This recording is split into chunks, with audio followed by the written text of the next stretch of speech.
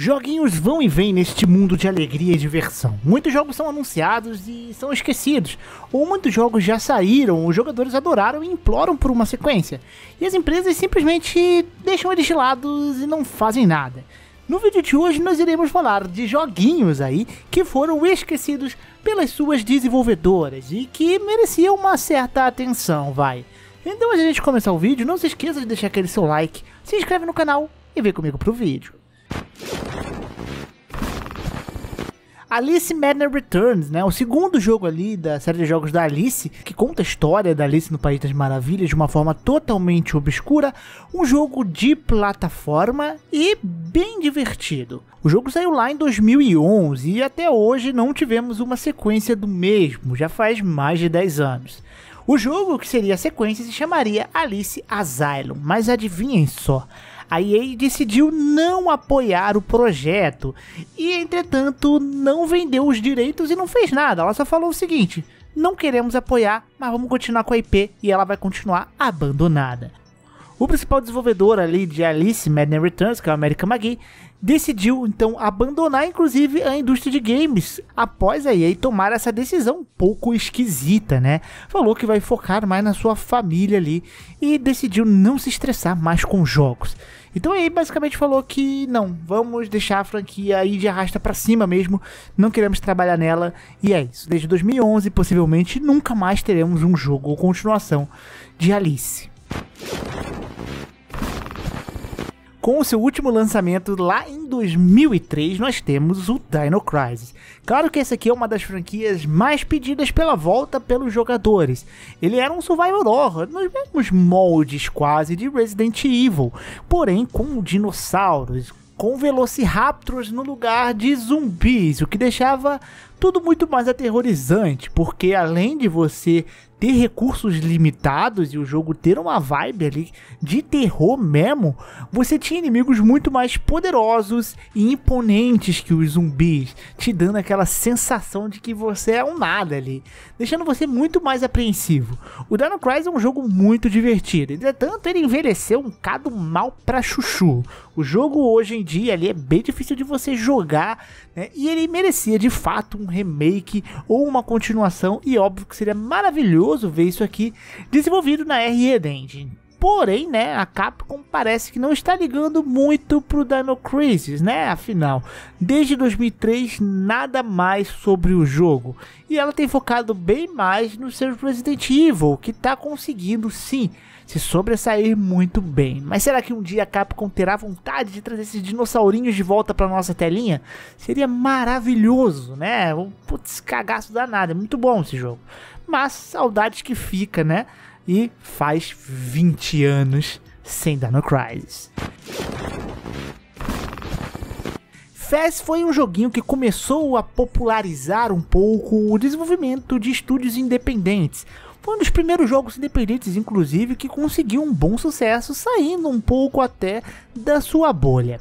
O Fez era um joguinho de plataforma e resolução de puzzles, onde o objetivo era você ir girando o cenário para você ir passando das fases de plataforma. Era um jogo extremamente criativo e bem divertido. É totalmente justificável o sucesso que esse jogo fez pela forma dele ser muito diferentinho e muito legal. Entretanto, né, depois do sucesso do primeiro jogo, o desenvolvedor decidiu anunciar o Fez 2. O cabeçudo por trás do Fez era o Phil Fish, e ele anunciou esse projeto, entretanto, um pouco tempo depois ele decidiu simplesmente abandonar. E foi um motivo meio esquisito. Foi basicamente discussões numa rede social com um jornalista. Sim, né? Ele discutiu com o cara, ele discutia muito sobre a divisão de faturamento, né? Por exemplo, na Steam você dá 30% do que você ganha para Steam.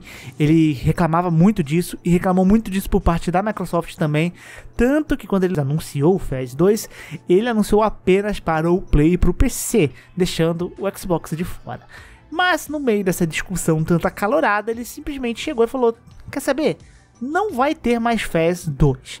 E agora em 2023 10 anos após o anúncio do Fez 2, né, que foi anunciado lá em 2009, ele chegou e falou o porquê. E na verdade, ele disse que aquilo foi apenas um pontapé para ele já fazer uma decisão que ele já estava pensando em fazer, que era cancelar o desenvolvimento desse segundo jogo. Ele falou que devido ao sucesso do primeiro, ele meio que se sentiu obrigado a lançar o segundo jogo, né? Afinal, o certo seria formar uma franquia de sucesso. E entretanto, ele não estava feliz desenvolvendo aquele game, como ele era um cara muito ativo, ele sofria muita pressão e tal. Isso já aconteceu antes, né, com outros jogos. Ele chegou e decidiu simplesmente cancelar o FES 2. E aquela discussão simplesmente foi uma alavancagem dele para tal feito. O jogo já seria talvez cancelado. Então, possivelmente nunca mais teremos o FES.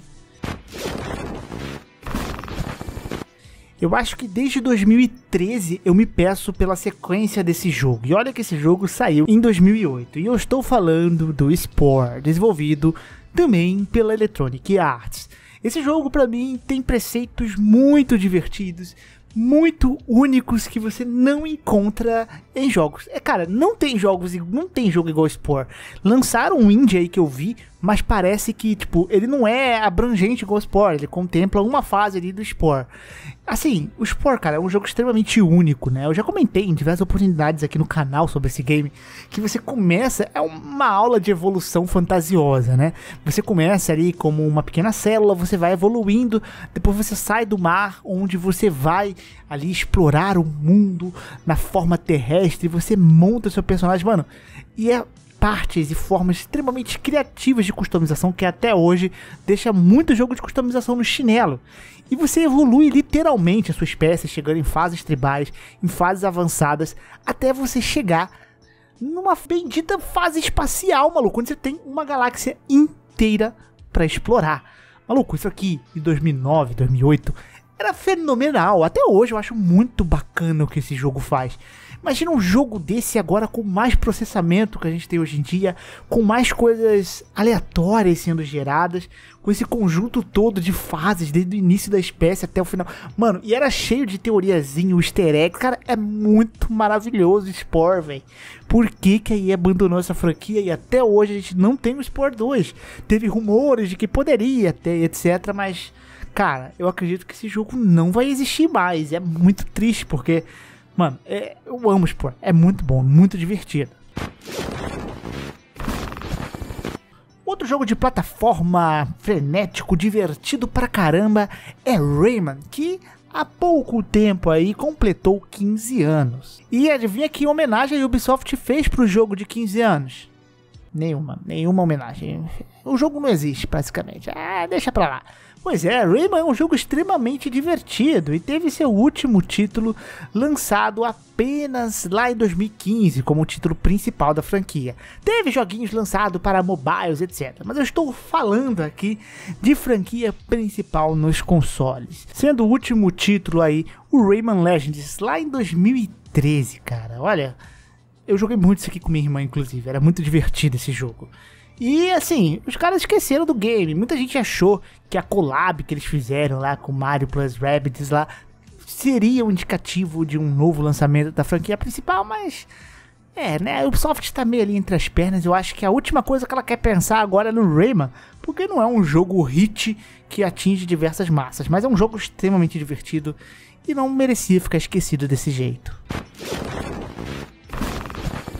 E, né, para reclamar de esquecimento, eu sempre vou falar do meu queridíssimo Bloodborne. Sim, Hades viuvão de Bloodborne mesmo. Não tenho vergonha de admitir. Bloodborne é um jogo esquecido pra caramba. Pela Sony? Sim. Pela From Software? Também.